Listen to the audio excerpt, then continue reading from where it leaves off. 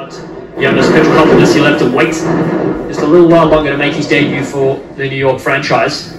But 22 points to 7 was absolutely massive as we see Julio Cesar onto the field. That's the Colombian under 18 player you mentioned. The youngster Julio Cesar Giraldo goes by Julio Cesar, the first Colombian ever to sign for Major League Rugby's the new addition.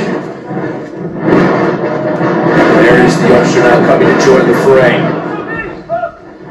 So, final moment in the first half here at Sam Boyd Stadium in Las Vegas.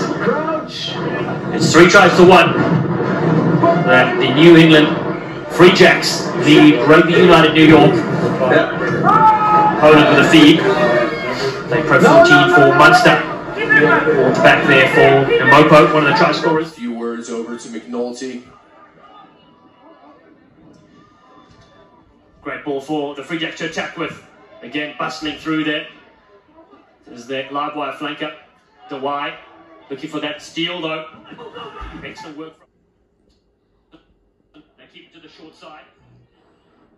And Mopo, try scorer from the first half. Big power for number eight. Here you go in to help out here. New England Free Jacks. 54 points to 7.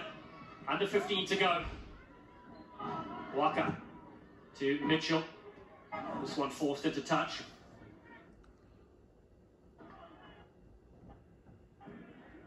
Winner, winner there in Kokul, exchanging pleasantries, and I must say, not not what I expected from New England. I knew they were going to be a good side, but thought there would be an advantage for Rugby United having been in the competition. They just haven't had the consistent energy that you need.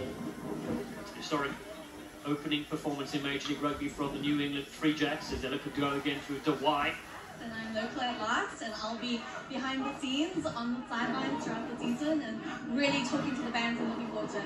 Mary, thank you. Thank you so much. Dallin, Thanks, Danny. Great insight there. It's a brilliant play in the meantime from the New England Free Jacks as they search for the line, putting phase upon phase.